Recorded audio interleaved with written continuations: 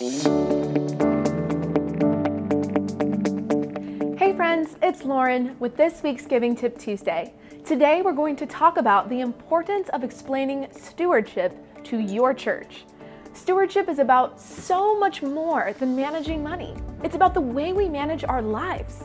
Church leaders help people embrace stewardship by explaining these three simple principles on a regular basis. Principle one God owns it all. Tell people that all is the Lord's. Literally, everything belongs to God. In short, share Psalm 24. Principle two we are His stewards. A steward is a manager, someone chosen to hold on to something that belongs to someone else. Tell people that as followers of Jesus, we are God's stewards, and as His stewards, we manage what belongs to God. This includes the time, skills, talents, and treasures that God has uniquely entrusted to each of us. And last but not least, principle three we are instructed to be faithful. God wants us to be reliable and trustworthy stewards. And one day we will give an account to the Lord for how we managed everything God gave to us during our time on earth. We want to hear, Well done, good and faithful servant.